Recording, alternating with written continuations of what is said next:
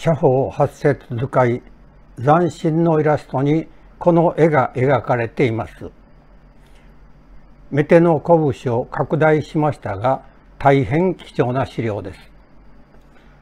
この絵の意図するところは写を発する瞬間の動作を言葉や文章でなく絵で示し矢の話し方を的確に表現された大変意味の深い資料です。すなわち矢の話し方は一瞬で拳を返し親指を突き上げたグーの形で矢を発する時の気温が表現されているのです。これからの説明を簡単にするために次の表現を使います。まず、拳を返さず、指先を少し緩めて離す技をチョキ離れ。一方、拳を肘の方から見て、時計回りの向きに瞬時に返して離す技をグー離れと表現します。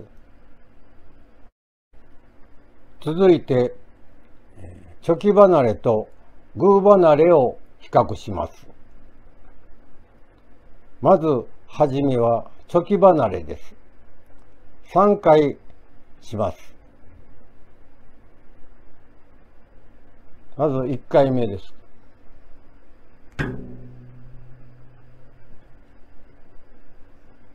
2回目。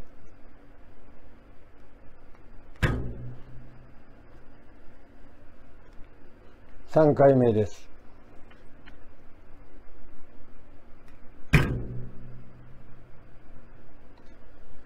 1回目は比較的スムースに離れました。2回目は少し引っかかった感じがします。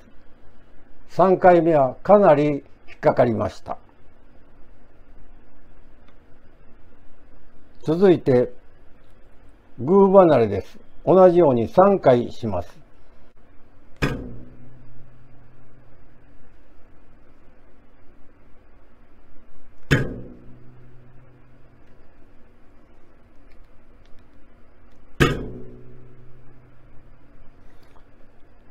3回とも引っかかることなくスムースに離れました。これで両者の差は分かっていただけたと思いますが、チョキ離れではスムースに離れることもありますが、安定した離れは難しいです。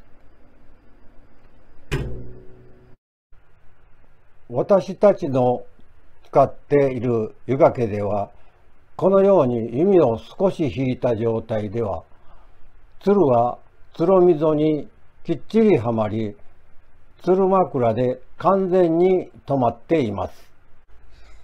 簡単に離れないように西で押さえていますが、その西を少し開いても鶴は離れません。すでに鶴は鶴枕に引っかかった状態にあるのです。拳を返さないチョキ離れでは、これを無理して話しておるわけですが、話し方の一つとして、少し肘を前に出すと、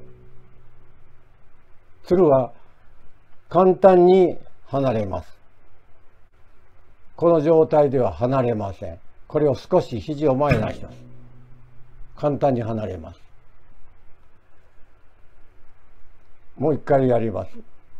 この状態では離れません。これを肘を少し前にやると鶴は簡単に離れます。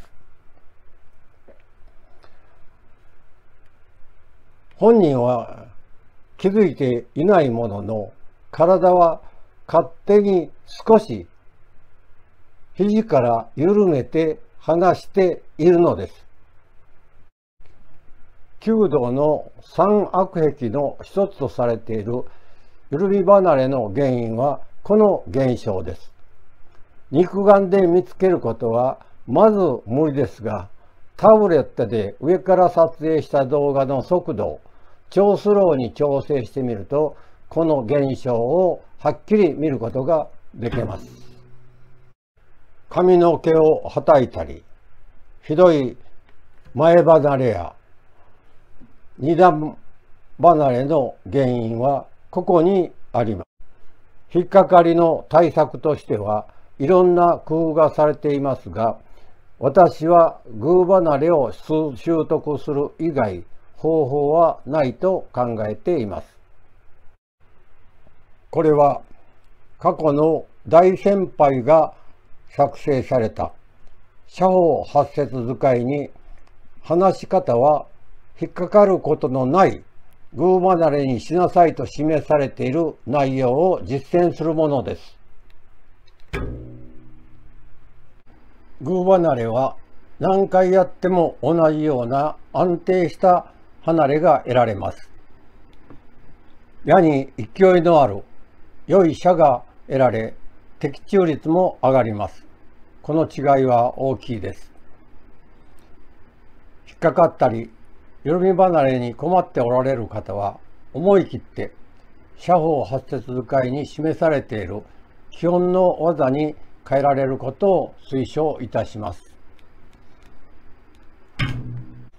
長い間、チョキ離れを続けてこられた方がグー離れに変えるには相応のトレーニングが必要ですが、長い弓人生を安定した離れで過ごせることを考えて決断されてはいかがでしょうか。鶴と鶴枕の関係及びグー離れを習得するためのトレーニングの方法は次回公開予定の課題で具体的に説明しますので活用してください。